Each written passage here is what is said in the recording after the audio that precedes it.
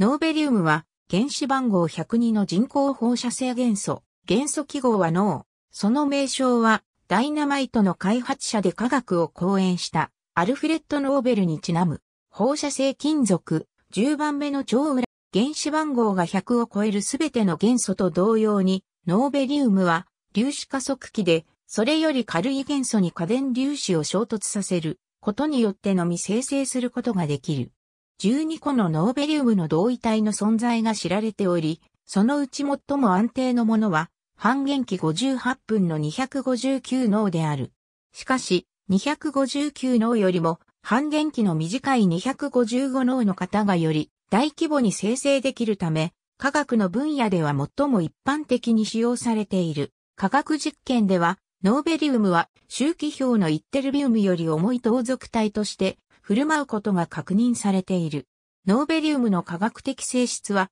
完全には分かっておらず、ほとんどが水溶液中でしか知られていない。ノーベリウムが発見される前は他のアクチノイドに特徴的なプラス3の酸化数と同様に安定なプラス2状態を示すと予想されていたが、後に水溶液中ではプラス2の方がプラス3よりもはるかに安定であり、ノーベリウムをプラス3状態に保つことが難しいことが分かり、この予想は確認された。1950年代と1960年代にスウェーデン、ソ連、アメリカ合衆国の研究所から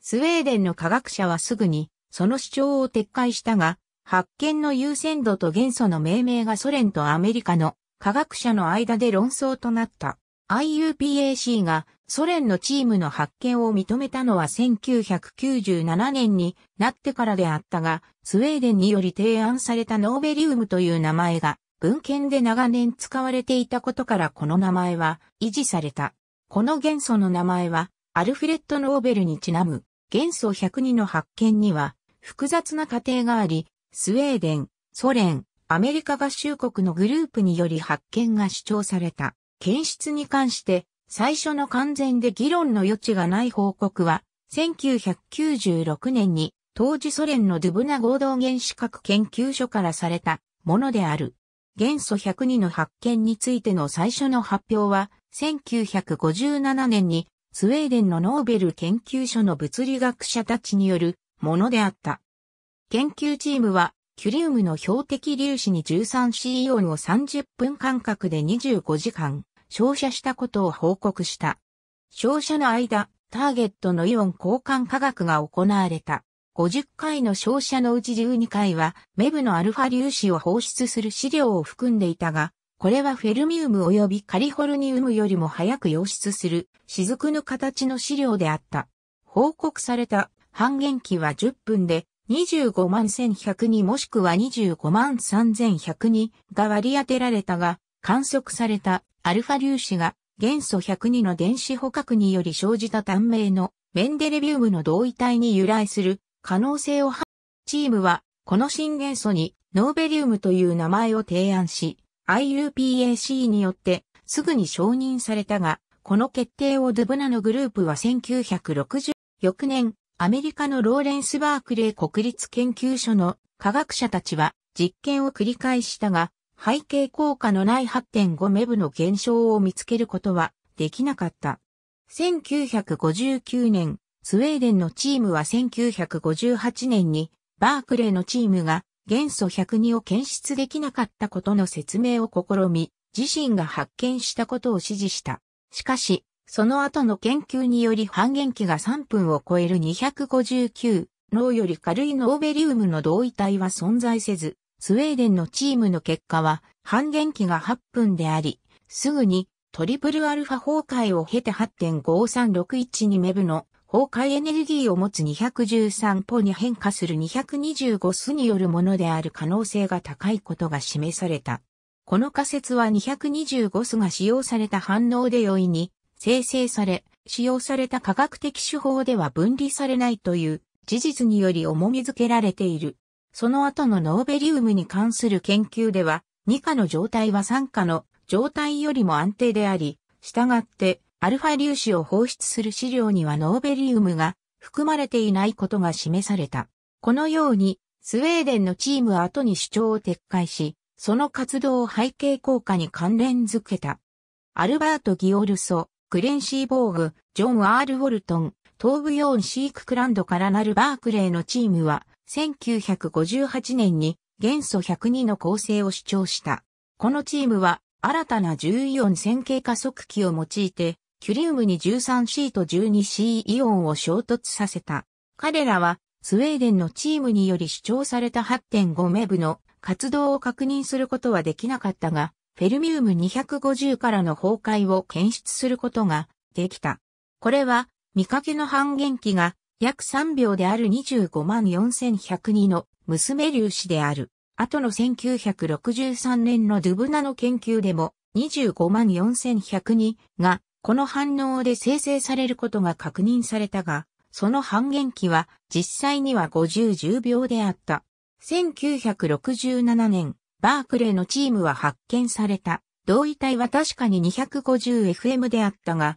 半減期測定が実際に関係していた。同位体は 244CEF であって、これはより多い 244C マイナーから生成された孫娘粒子、すなわち崩壊性生物であったと述べ、自身の研究を擁護しようとした。エネルギーの違いはこれまで報告されていなかった分解能とドリフトの問題に起因したものであり、他の結果にも影響を与えていたはずである。1877年の実験では25万2102は実際に2.3秒の半減期を持つことが示された。しかし、1973年の研究では 250FM の半長も使われるエネルギーで反応中に形成された可能性のある 250m/FM の異性体転移から容易に生成されたことも示されている。このことから、この実験では、ノーベリウムは実際には生成されなかった可能性が高い。1959年、チームは研究を続け、主に8.3メブのアルファ粒子を放出して崩壊し、半減期3秒で30%の自発核分裂分岐を伴う同位体を生成できたと主張した。この活動は当初25万4102とされていたが、後に25万2102に変更された。しかし、彼らは困難な条件のためにノーベリウムが生成されたことは確実ではないことにも言及した。バークレーのチームはスウェーデンのチームが提案したノーベリウムという元素名を採用することを決定した。244-96C-12-6C256-102 No252-102No410の一方で、ドゥブナでは1958年と1960年に元素102の構成を目指した実験が行われた。最初の1958年の実験では239、241プに16オイオンを衝突させた。8.5メブを超えるエネルギーを持つアルファ崩壊がいくつか観測され、251、252、25万3102が割り当てられたが、チームはナマリアビスマスの不純物から同位体が生成されてしまった可能性を除外できないと書いている。後に行われた1958年の実験では、水銀、タリウム、鉛、ビスマスの不純物から新しい同位体が生成されることが指摘されたが、科学者たちは半減期が30秒以下、崩壊エネルギーが8.8プラスマイナス0.5メブであることに言及し、この反応から元素102が生成されるという結論を支持していた。後の1960年の実験ではこれらが背景効果であることが証明された。1967年の実験でも崩壊エネルギーは8.6プラスマイナス0.4メブまで下がったが、いずれも253脳や254の、その後ドゥブナのチームはまず1970年に、そして1987年に再度これらの結果は決定的なものではないと述べている。1961年、バークレーの科学者たちはカリフォルニウムとホ素イオンと炭素イオンの反応で元素103を発見したと主張した。彼らは同位体25万7103の生成を主張し、また、15秒の半減期とアルファ崩壊のエネルギー8.2メブを持つ元素102のアルファ崩壊同位体を構成したと主張し、これを25万5102に割り当てたが、その理由は示さなかった。この値は現在知られている257脳の値と一致しているが、255脳について現在知られている値とは一致しておらず、この同位体が今回の実験で一役買っていたと考えられるも、その発見は決定的なものではなかった。ドゥブナでも元素102の研究は続けられ、1964年には 238U とネオンイオンの反応によって元素102を合成し、元素102のアルファ崩壊の娘粒子を検出する実験が行われた。生成物を銀キャッチャー箔で運び科学的に生成し、同位体 250FM と 252FM が検出され、この実験で 252FM が得られたことは、親粒子にあたる25万6100にも合成された証拠と解釈された。この反応では余剰な中性子と同時に、アルファ粒子が放出されて 252FM が直接生成される可能性もあるが、252FM がキャッチャー箔に直接行かないようにする措置が取られた。25万6102に対して検出された半減期は8秒であり、これはもっと新しい1967年の値である秒よりもずっと大きい。1966年には25万4102に向けて243アム25万4102と 238U25 万4102の反応を用いた実験が行われ、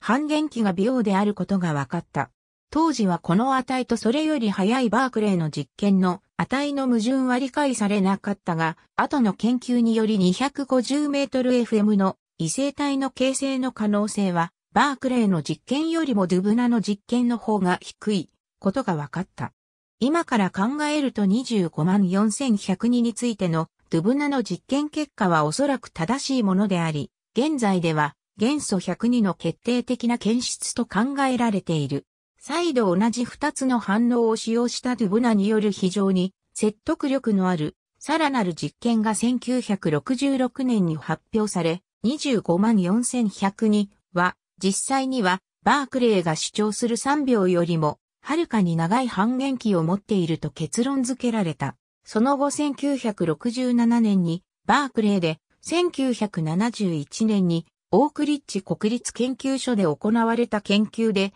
元素102の発見が完全に確認され、それ以前の観測がはっきりした。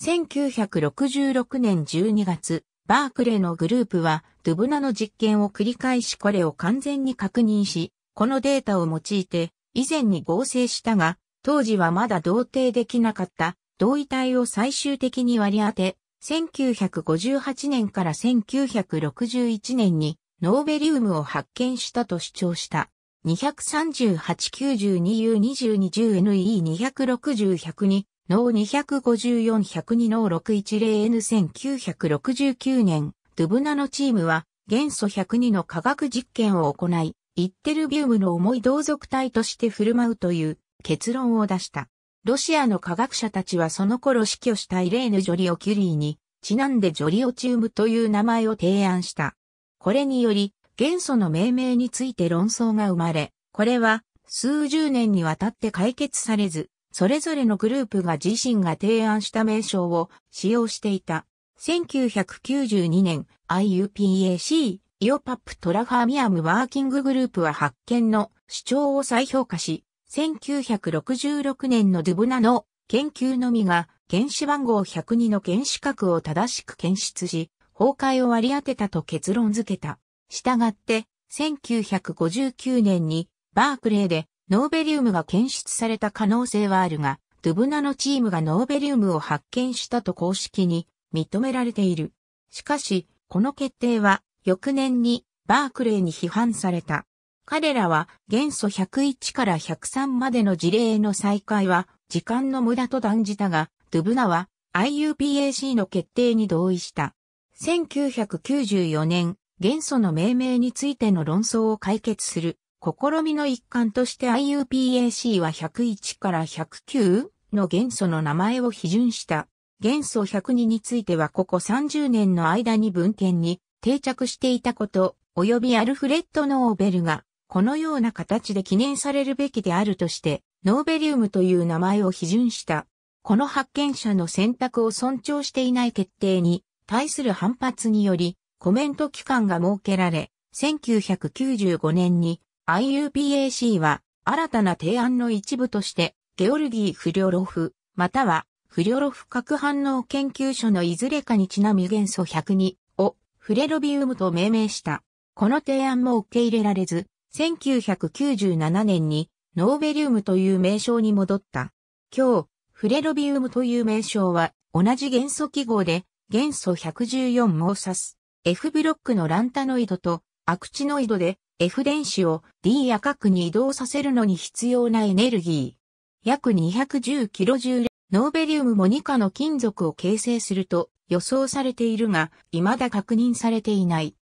周期表において、ノーベリウムはアクチノイドであるメンデレビウムの右、同じくアクチノイドであるローレンシウムの左、ランタノイドのイッテルビウムの下に位置している。ノーベリウムの金属はまだバルク量では調整されておらず、バルク調整は現在のところ不可能である。しかし、その特性に関して多くの予測といくつかの予備的な実験結果が行われている。ランタノイド及びアクチノイドは金属状態では2価の金属、または3価の金属のいずれかとして存在する。前者は FN プラス 1S に配置を有するのに対し、後者は FND1S に配置を有する。1975年、ヨハンソンとローゼングロンは2価と3価の金属ランタノイドと金属アクチノイドの凝集エネルギーの測定値と予測値を研究した。結論は、ノーベリウムの RN5F147S に配置に対する RN5F136D17S に配置の結合エネルギーの増加はずっと後半のアクチノイドにも当てはまるように1個の 5F 電子を 6D に促進するのに必要なエネルギーを保証するのに十分ではないというものであった。したがって、アインスタイニウム、フェルミウム、メンデレビウム及びノーベリウムは2価の金属であると予想されたが、この予想は未だ確認されていない。アクチノイド系列の最後に行く、ずっと前に2価の状態が優勢になるのは、原子番号の増加に伴って増加する 5F 電子の相対論的安定化に起因する。この効果はノーベリウムが他のすべてのランタノイドやアクチノイドとは異なり主に三価ではなく二、1986年に金属ノーベリウムの昇華エンタルピーは126キロジュール毎モルと推定され、この値はアインスタイニウム、フェルミウム、メンデレビウムの値に近く、ノーベリウムが2価の金属を形成するという理論を支持している。他の2価の後半のアクチノイドと同様、金属ノーベリウムは、面心立方晶構造を仮定する。2価のノーベリウム金属は、約 197pm とされている。ノーベリウムの融点は摂氏827度と予測されており、隣のメンデレビウムの予測値と同じ値である。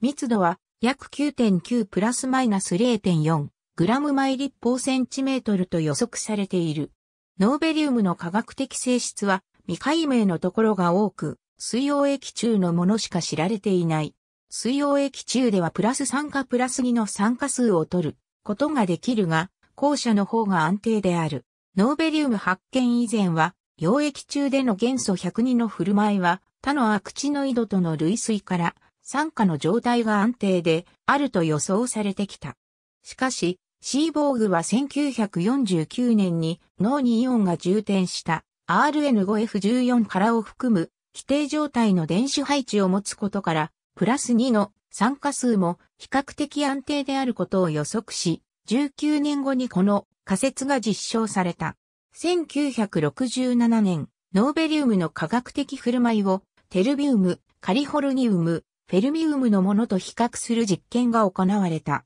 4つの元素すべてを塩素と反応させ、得られた塩化物をチューブに沿って堆積させ、それに沿って気体により移動させた。その結果生成されたノーベリウム塩化物は、固体表面に強く吸着し他の三元素の塩化物のように揮発性ではないことが分かった。しかし、 NoCl2と NoCl3の両方とも不揮発性を示すと予想されていたため、この実験では、ノーベリウムの好ましい酸化状態が何であるかについては結論が出なかったが、翌年比イオン交換クロマトグラフィーと強鎮実験が約5万個の255脳原子で実験され、ノーベリウムはプラス2の酸化数を好むという結論が出た。これにより、強い酸化剤が存在しない場合、溶液中でのノーベリウムは2価の状態が最も安定であることが示された。脳にイオンは他のアクチノイドとは異なり、2価のアルカリド類金属に近い振る舞いを示し、クエン酸、シュウ酸、酢酸との間に酢体を形成することが知られている。1974年に行われた実験では、ノーベリウムはアルカリド類金属と CA2 と SR2 の間で溶出することが示された。ノーベリウムは水溶液中でプラス2の酸化数が最も一般的で安定な唯一知られている F ブロック元素である。これはアクチノイド系列の末端にある 5F 軌道と 6D 軌道の間に大きなエネルギーギャップがあるためである。7S 赤くの相対論的安定化はに水素化、ノーベリウム脳2を大きく不安定化させ、6D3、2スピノル以上の 7P1、2スピノルの相対論的安定化は、ノーベリウム原子の冷気状態が予想される 6D の寄与ではなく、7S と 7P の寄与を持つことを意味する。脳に分子における長い脳 H の距離と大きい電解動が、この分子の双極子モーメントが 5.94D と極端な4性につながっている。この分子ではノーベリウムが典型元素のような振る舞いを示すことが予測されており、具体的には、そのナノセカンド2価電子核配置とコアのような 5F 軌道を持つアルカリド類金属のような振る舞いをする。ノーベリウムの塩化物イオンと作体形成する能力はバリウムのそれに最も似ており、むしろ弱く作体形成する。0.5M 硝酸アンモニウム水溶液中のクエン酸塩、中酸塩、酢酸塩と